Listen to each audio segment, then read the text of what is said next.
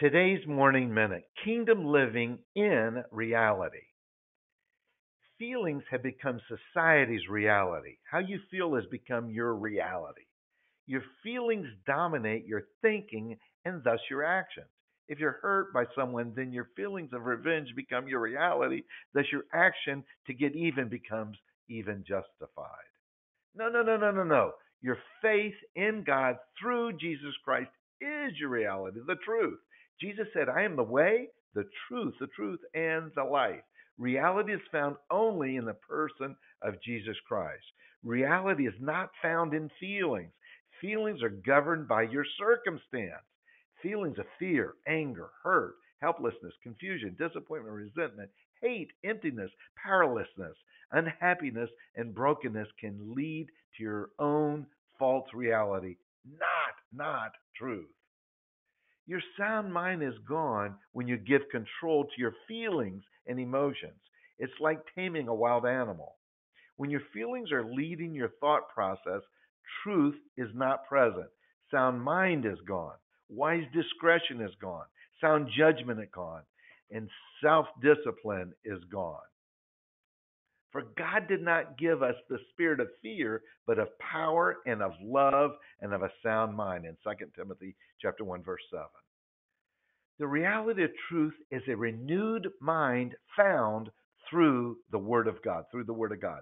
The transformed mind is filled with life-giving power and love through Christ Jesus. The transformed mind lives in a state of victory, in a state of victory alive in the Holy Spirit living in you.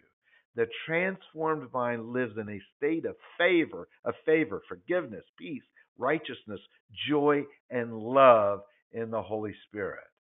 The pattern of this world is to conform our thinking by our feelings and emotions.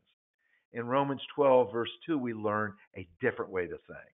Don't copy the behavior and customs of this world, but let God transform you into a new person by changing the way you think.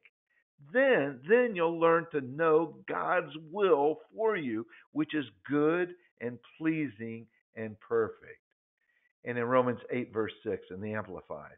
Now, the mind of the flesh, which is sense and reason without without the spirit the holy spirit is death. Death that comprises all the miseries arising from sin both here and hereafter hereafter. But but but the mind of the holy spirit is life and the soul peace both now and forever.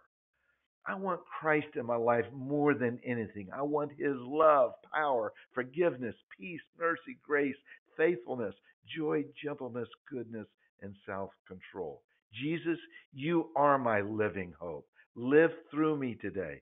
You are my reality and truth. Amen and amen.